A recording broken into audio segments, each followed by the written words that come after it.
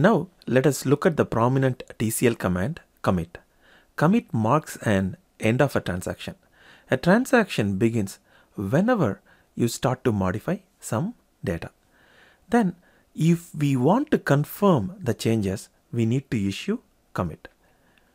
There are various options for commit. Commonly, you would just issue commit with no options.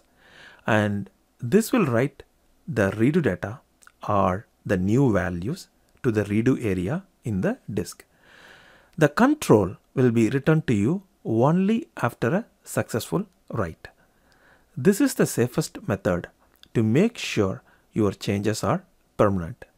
Commit wait is just the same as commit. In other words, if you do not issue any options, then wait is the default option for commit.